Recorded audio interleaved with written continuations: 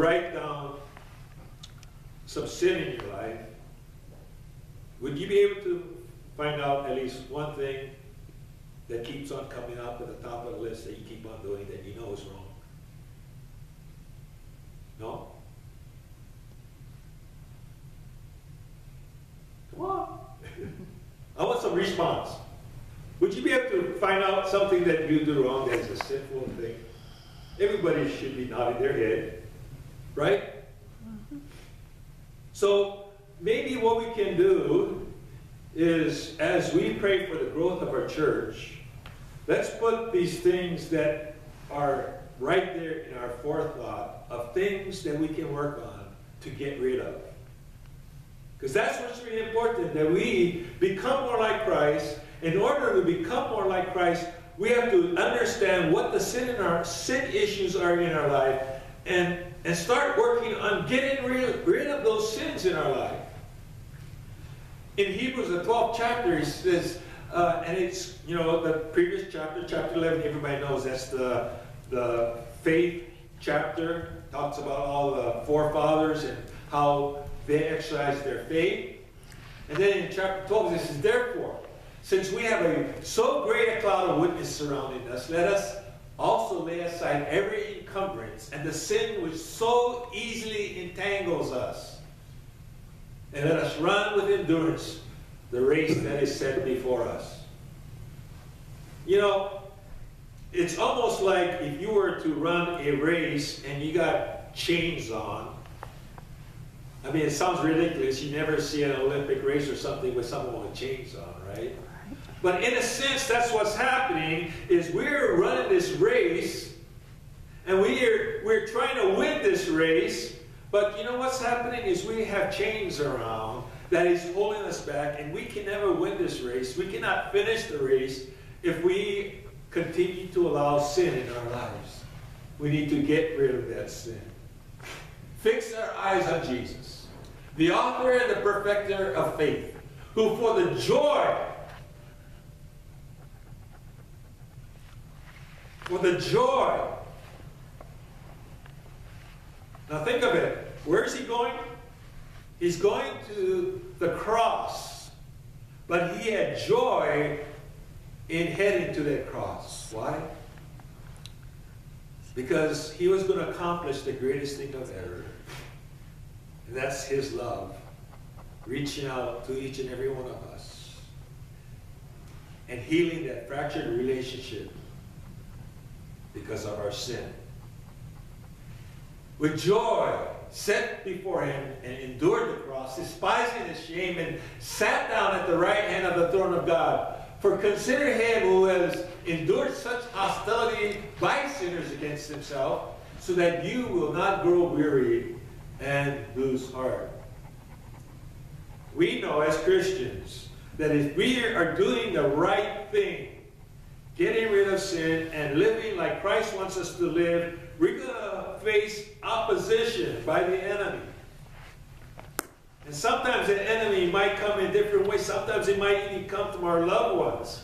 Sometimes it's from our employee, uh, co- co-workers at work, or it, it could come from anywhere. But we must focus on Jesus, who is the author and the perfecter of our faith.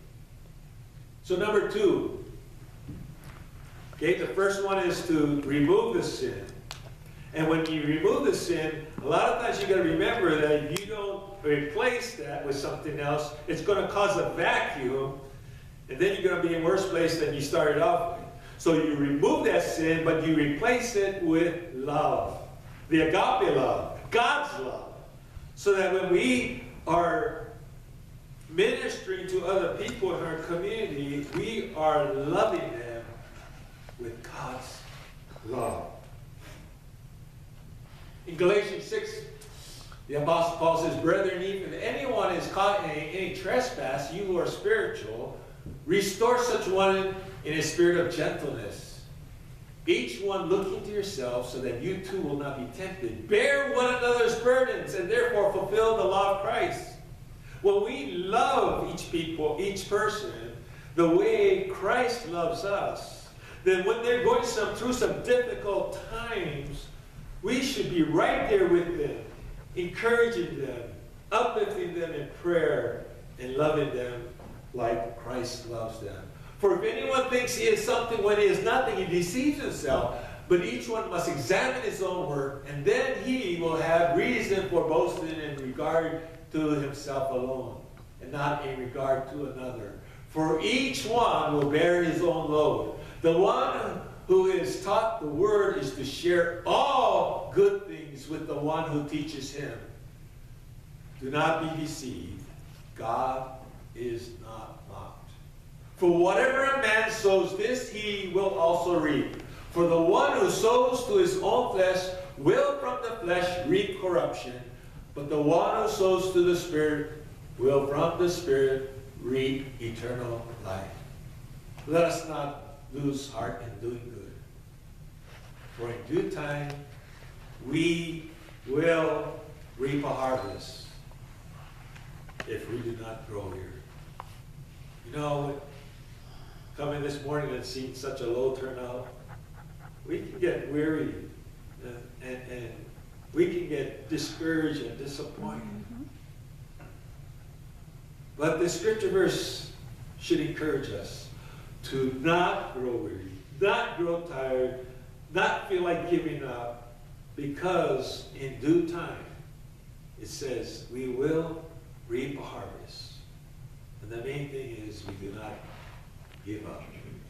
So then, while we have the opportunity, let us do good to the people that we hang around with,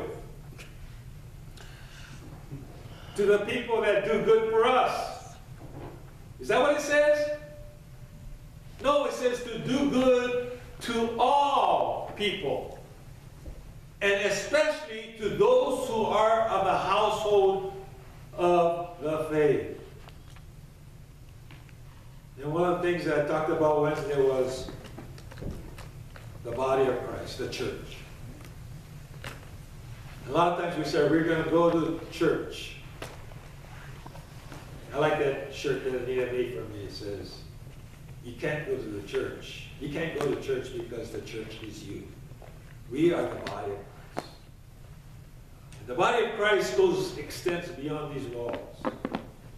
And I don't know how many people went to that conference over there in Grand Island, but I, I bet there was a lot of people. It was packed. It was packed. So I imagine that's a big, large church, and, and, was packed. And that was just a small handful of God's people in our world today. We have to realize that we have the responsibility. It's not a choice. But we're commanded that we are to do good to all people, and especially to the ones who are our fellow brothers and sisters in Christ. Why is that so important?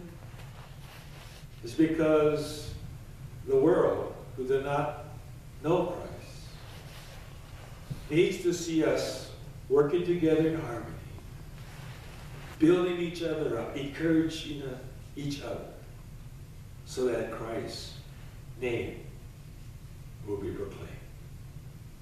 In Colossians, the third chapter, the Apostle Paul says, Therefore, if you have been raised up with Christ, keep seeking the things above where Christ is seated at the right hand of God. Amen. Set your minds on things above, not on the things on earth. For you have died, and your life is hidden with Christ in God when Christ, who is our life, is revealed. Then you also will be revealed with him in glory. Therefore, consider the members of your earthly body as dead to immorality, impurity, passion, evil desires, and greed, which amounts to idolatry. Anything that we're not focusing on God and serving Him, and we're focused on something else of this world, that is idol worship. Where do you stand? Where's your focus? Where do you spend most of your time? For it is because of these things that the wrath of God will come upon the sons of disobedience. And in them you also once walked. He's saying that's past tense. That's the way you used to be when you were living in them. But now, you also put them all aside anger, wrath, malice, slander, and abusive speech from your mouth. Do not lie to one another, since you laid aside your old self with its evil practices, and have put on the new self, who has been renewed to a true knowledge according to the image of the one who uh, created him.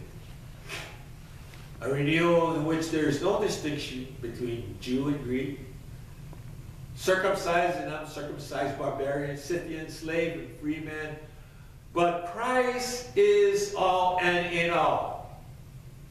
So as those who have been chosen of God, holy and beloved, put on a heart of compassion, kindness, humility, gentleness, and patience. Bearing with one another, forgiving each other, whoever has a complaint against anyone, just as the Lord forgave you, so also should you. And beyond all these things, put on love, which is the perfect bond of unity.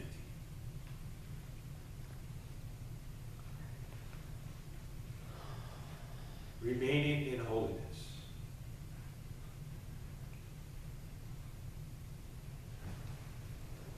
If we remain in holiness,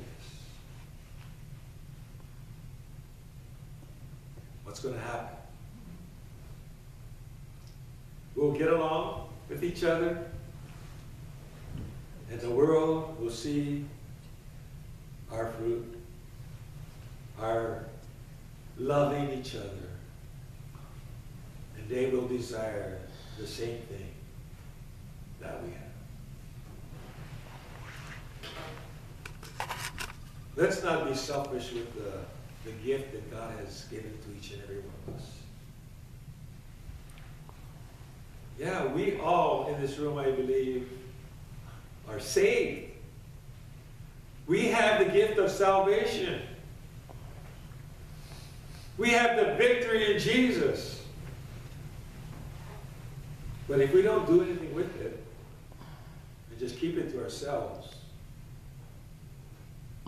isn't that a little selfish?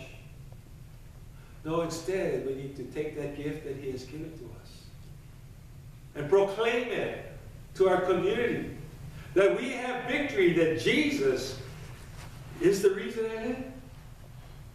So as we sing today, let's think about these scripture verses that we've read.